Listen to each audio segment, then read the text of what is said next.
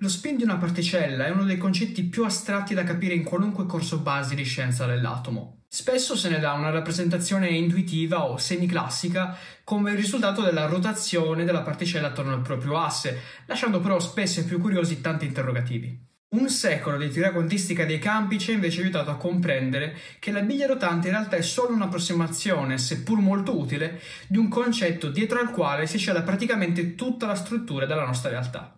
Cosa volete che sia? Ovviamente la relatività speciale.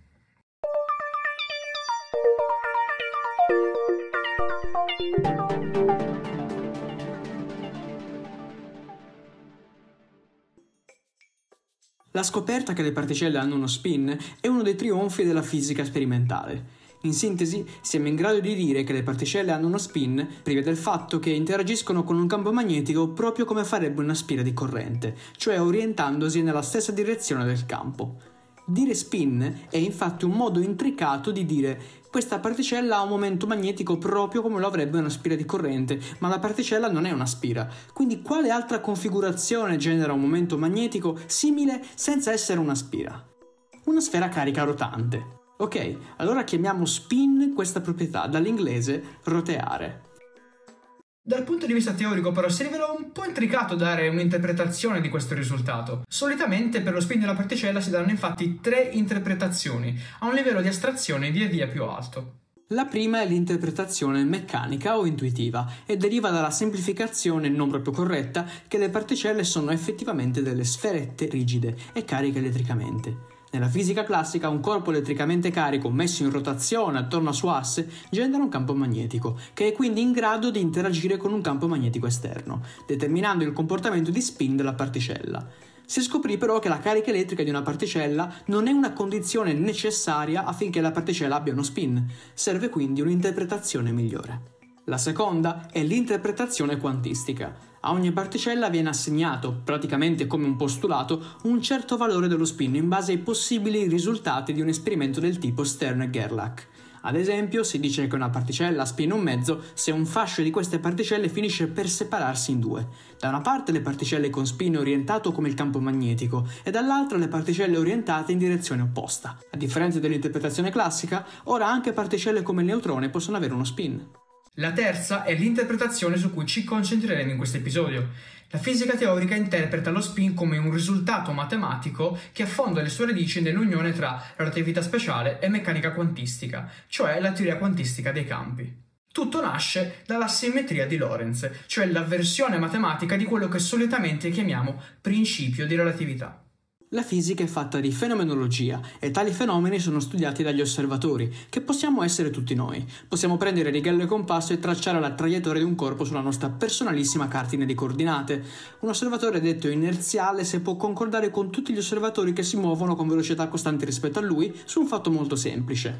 Un corpo esente da forze si muove di moto rettilineo uniforme. Il punto però è che non esiste un osservatore inerziale più speciale di altri. Se io uso la mia cartina di coordinate e Pino si muove a velocità costante rispetto a me e uso la sua cartina di coordinate, dobbiamo comunque concordare sulla fisica dei fenomeni che stiamo osservando. Per cui deve esistere una trasformazione di coordinate che colleghi le mie coordinate con quelle di Pino, una traduzione da un linguaggio all'altro che però abbia la cura di preservare la struttura delle leggi fisiche. Questo è quello che ci disse Galileo con il suo principio di relatività.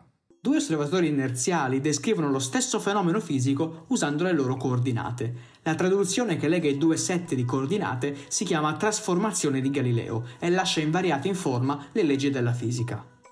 Dopodiché venne Einstein e si accorse che le trasformazioni di Galileo non lasciavano invariata la velocità della luce vista da osservatori inerziali e siccome ciò era in conflitto con le leggi dell'elettromagnetismo, Einstein disse che la relatività di Galileo era solo un'approssimazione di un tipo di trasformazione di coordinate molto speciale, le trasformazioni di Lorentz.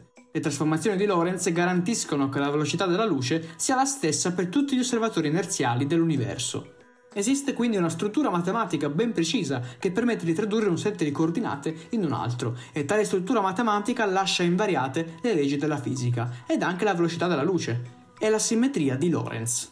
Puntualizziamo, le leggi di Newton non rispettano la simmetria di Lorentz, questo perché sono un'approssimazione. La struttura matematica rispetta invece la simmetria di Galileo. La relatività di Einstein si traduce praticamente in un principio di esclusione, perché ci insegna appunto a escludere tutte quelle forme matematiche che possono assumere le leggi fisiche per descrivere il nostro mondo che non rispettano la simmetria di Lorentz. Una legge della fisica deve rispettare la simmetria di Lorentz. Questo non significa che le leggi di Newton siano da buttare, vanno semplicemente intese con una validità limitata, cioè sono una buona approssimazione solamente per descrivere oggetti che si muovono a velocità molto inferiori della velocità della luce. Il momento di connettere il concetto di spin con la simmetria di Lorentz. La chiave di questa connessione sta dentro l'enunciato di un teorema molto importante che ha a che fare con le simmetrie e le leggi di conservazione. Nella fisica ogni simmetria corrisponde a una quantità conservata e tale quantità si scopre essere matematicamente il generatore della simmetria stessa, cioè gli operatori che trasformano gli oggetti sotto quella simmetria sono funzioni matematiche della quantità conservata. Questo è il risultato del teorema di Noether. La meccanica classica fornisce tre esempi immediati di simmetrie e generatori delle simmetrie. La simmetria per traslazioni implica la conservazione della quantità di moto. Matematicamente una traslazione nello spazio può essere generata dalla quantità di moto. La simmetria per rotazioni implica la conservazione del momento angolare.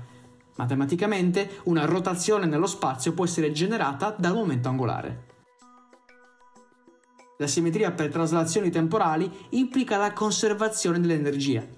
Matematicamente l'evoluzione temporale può essere generata dall'energia di un sistema. E così via. La relatività di Einstein ha postulato che il mondo debba rispettare una simmetria molto speciale, la simmetria di Lorentz. In questo caso la quantità conservata è una sorta di combinazione tra momento angolare e quantità di moto, che diventano quindi i generatori matematici della simmetria.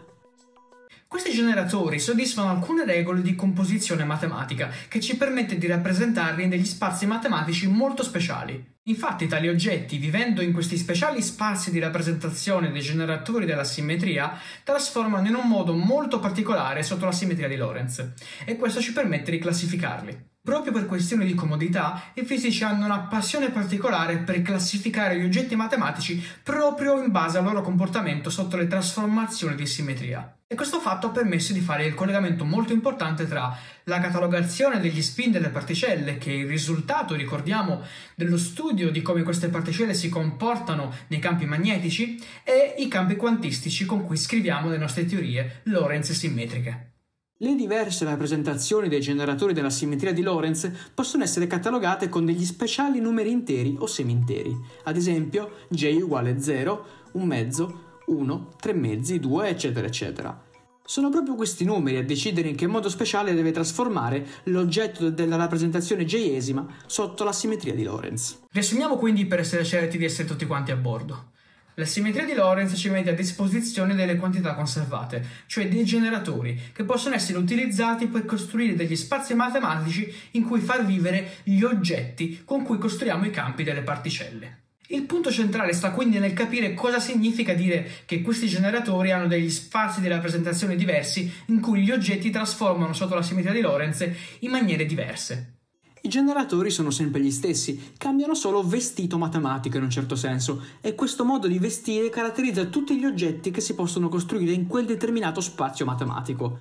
Dire una particella trasforma in una rappresentazione J uguale 1 della simmetria di Lorentz è un po' come dire voglio caratterizzare quella particella in base al suo modo di vestire. Tra tutti gli abbigliamenti matematici possibili del generatore, quella particella veste quell'abito in particolare. Alla fine è tutto un gioco di classificazione, ma non è un esercizio accademico, perché questo è letteralmente il modo in cui la fisica teorica è capace di catalogare tutta la zoologia infinita di particelle del modello standard. Infatti il passo successivo è costruire per ogni oggetto che trasforma nel suo modo speciale una teoria invariante di Lorentz, cioè una teoria che sia matematicamente simmetrica rispetto alle trasformazioni di Lorentz, cioè quella che nota essere una teoria quantistica di campo. I quanti di eccitazione di questo campo sono proprio quelle particelle che sperimentalmente vanno a interagire con il mondo in base al valore speciale del loro numerino J, che all'inizio di questo video abbiamo chiamato spin. I campi costruiti con gli oggetti degli spazi J descrivono le particelle che conosciamo. Facciamo alcuni esempi. Possiamo descrivere particelle con spin J uguale 0 come il bosone di Higgs, particelle con spin J uguale un mezzo come gli elettroni, i protoni, eccetera particelle con spin J uguale 1 come il fotone. Lo spin è quindi un modo per dire come trasforma quella particella sotto simmetria di Lorentz. Le rappresentazioni J della simmetria continuano fino a infinito, nulla lo vieta. Tuttavia non abbiamo ancora osservato sperimentalmente particelle elementari con spin superiore a G uguale 1. Spero di aver reso l'idea di come lavorano i teorici per descrivere la realtà. Mi accorgo che questi non sono argomenti molto accessibili, anzi sono spesso poco trattati proprio per questo motivo. Il mio sforzo è quello di renderli più amichevoli possibili, proprio per soddisfare la curiosità di quelli che non si accontentano delle prime spiegazioni semplicistiche. Se il video ti è piaciuto, ovviamente non dimenticate di iscriverti al canale e ricordati di condividerlo con le persone con le quali condividi la tua passione. Grazie per la visione, ci vediamo al prossimo episodio.